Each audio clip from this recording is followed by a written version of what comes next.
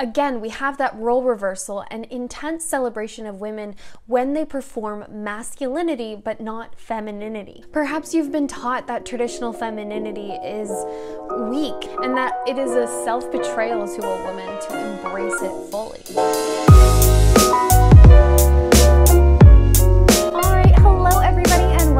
My channel. My name is Caitlin and I run the blog called Mrs.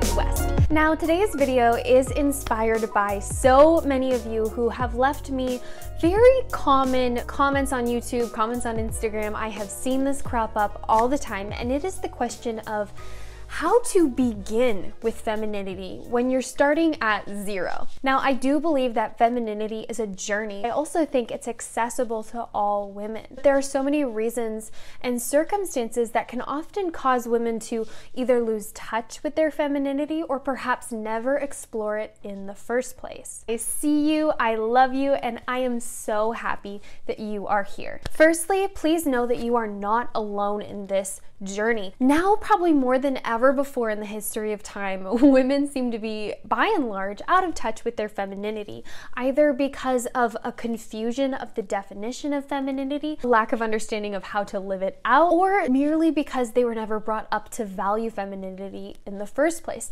We have a ton of role reversal going on right now in our society, and it is common to see women celebrated, yes, but typically they are celebrated for performing masculinity, whereas traditional femininity is often devalued, pushed by the wayside, scorned, and seen as something undesirable. Now, this is more common than ever if you are from the West. It could be completely different in other parts of the world, but right now in the West, I do feel like there is this battle going on to preserve traditional femininity and to celebrate women who wish to express it. I think that there are a few specific reasons why women might not be in touch with their femininity. First of all, a lot of women are never taught. Their mothers never valued femininity, never tried to teach them, or it was shirked off altogether. Many other women, maybe they weren't interested in femininity ever before in their life, but suddenly you're feeling kind of intrigued with the topic. That is also very common. We change as we age and we go through different stages in life. I am much more interested in femininity femininity than I was six, seven, eight years ago. For others, femininity might never have crossed your mind. It might have never been a priority, or you could have even had a bias or a negative view of it. Others still might reject their femininity as a defense me- mechanism after going through a difficult or traumatic situation. It is very common for women to reject their femininity after going through a traumatic situation and to instead rely on traditionally masculine traits as a form of self defense or fortification. I believe that femininity is inherent in all women, no matter how masculine you might feel. I believe all women can tap into it. It is a special and empowering posture that can help you experience life in a completely different way. So, I have created a seven step process to help you with this journey. So, let's begin with number one. You're going to want to figure out where you're at with femininity. You need to answer some questions questions, maybe take out a journal and ask yourself, what do you think of femininity? What makes you feel connected to femininity? What about you is feminine? What about you isn't feminine? What would you like to change? Where do you want to be in five years? Where do you see your journey with femininity leading you? Why do you want to be more feminine? Who taught you how to be feminine or who taught you how to be masculine? Why do you have the views you do? Start asking yourself these questions and start identifying what biases you might have against femininity, why you want to be more feminine, etc. And this does bring us to the second part, which is acknowledge your perception of femininity, either good or bad. All of us have been shaped to some extent by the modern narrative of femininity that it is weak, chaotic, sappy, girly, pink bows. You know what I'm wearing right now? That's just girly, silly nonsense. When in reality, femininity is so much more than that, and we might not even realize we have inherent biases against it and a preference for masculinity and masculine behavior. Ask yourself what scares you about femininity? Why do you view it the way you do? What has led to your current view of femininity? Who has influenced you the most, either towards femininity or away from it? How do you view women who actively embrace their femininity? What perceptions do you have? Do you feel like you can't be included in that? Do you feel like your femininity makes you a victim or a target or overly vulnerable? Try to define and figure out what biases you have and perhaps why you have them. What positive or negative messaging have you received in regards to femininity from people who you look up to, value, or even view as role models? Perhaps you've been taught that traditional femininity is weak and that it is a self betrayal to a woman to embrace it fully. Reframing your perspective on femininity is essential if you are from the West. Again, we have that role reversal and intense celebration of women when they perform masculinity but not femininity. Feminine women are often looked down upon, teased and caricatured by the media as just being so girly and over the top and high maintenance. And I understand having those internal biases. I also want to say if you've experienced a trauma or a crisis of identity or a difficult time in your life that has caused you to completely reject or shirk off your femininity, please know it is possible to reframe your perspective on femininity and find qualities that speak to you. Because femininity is not just girliness, it's not dressing like this, not exclusive to rich women or pretty women or young women, girly girls or married women or anything like that. It's accessible to all women. Femininity is creative, it's beautifying, it's nurturing, it's tender, it's mysterious and elegant and special. It's a complement to masculinity and it is something to be celebrated. After you reframe your perspective on femininity, zero in on some qualities that really speak to you. What about femininity is drawing you in. Why are you on this video? Do you want to dress more femininely, behave more femininely? And what do you see inherently in yourself that is feminine? We might not all be 100% feminine from birth. I know I'm not. I've never naturally been an extremely nurturing person, but nurturing is a quality essential to being feminine, and I've been able to grow in that area. I do naturally see in myself a desire to beautify things and to be creative and to create in this world and foster connection with people. I do see those feminine qualities in those areas of my personality, even though I've had to grow in the area of being extremely nurturing. I encourage you, if you've viewed yourself through a certain perspective or lens in the past, declaring that you're not feminine, saying you want no part in it, I encourage you to cast that away and not put yourself in a box and instead see what qualities within you you can embrace through the lens of femininity. Are you nurturing? Are you creative? Do you like to beautify? Do you like to create? Do you foster connections with other people or or bring warmth to the room you're in? Do you like being elegant or mysterious? Acknowledge the feminine side of yourself, but don't view it as a weakness. View it as a strength.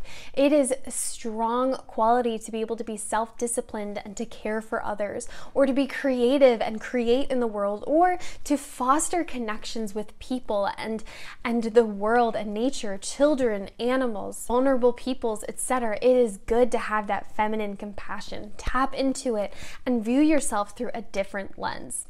This brings us to the fifth tip, which is you're going to need to start implementing femininity in your day to day life. Start adding something every week. Consider changing up the way you dress. I have so many videos about that. Spend more time beautifying your outer shell. Spend more time beautifying your space, your environment. Maybe foster more connections with people. Get in touch with your emotions, your softer side. Begin learning how to nurture and tenderly care for other people. Again, femininity is not about being weak or immature or a little girl. It's about being a fully realized adult woman that has responsibility in this world, that is self disciplined and strong and mature. And those can go hand in hand. Create nurturing environments, create beauty, create connection, and begin fostering those feminine qualities and softening the harsher sides of yourself. Next, number six, Express your journey to your loved ones. Anyone who you feel needs to know what you're going through,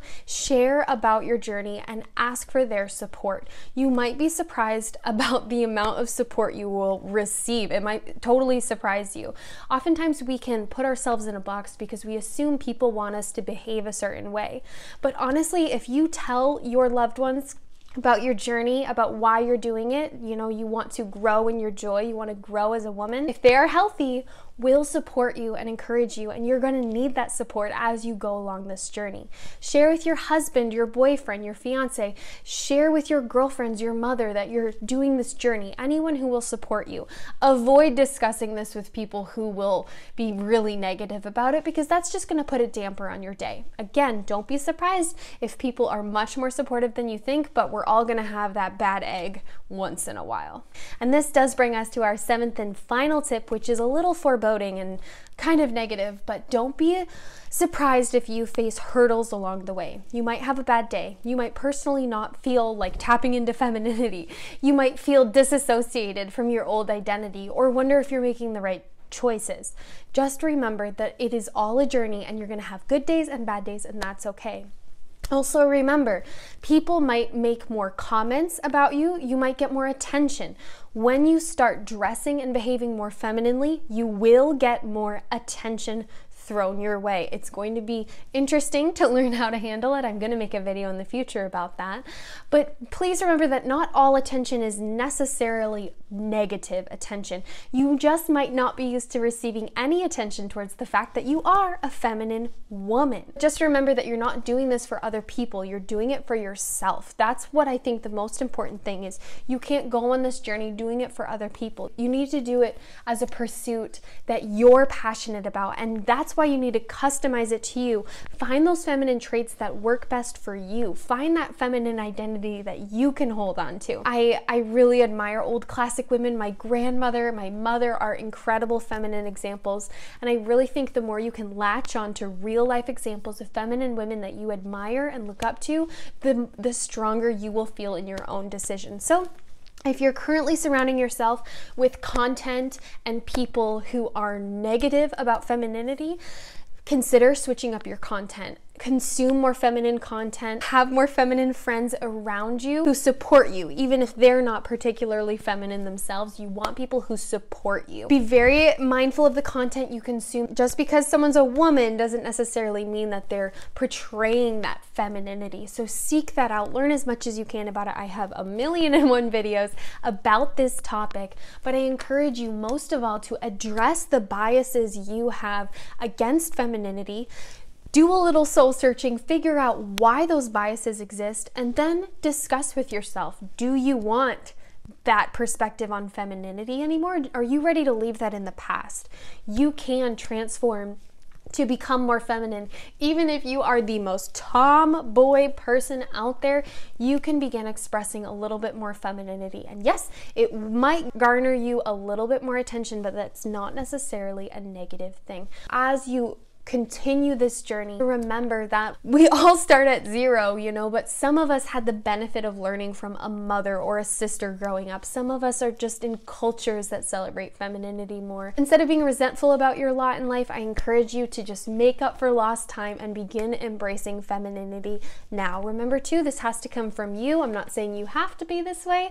If you desire to be more feminine, then all the power to you. I truly wish you all the blessings as you embark on this journey. So in total, if you like the video, please click the like button. It does help other people find my content. If you're interested, join the feminine family by subscribing. If you're interested in more of this kind of content, it is all over my channel. You will not have a problem finding it.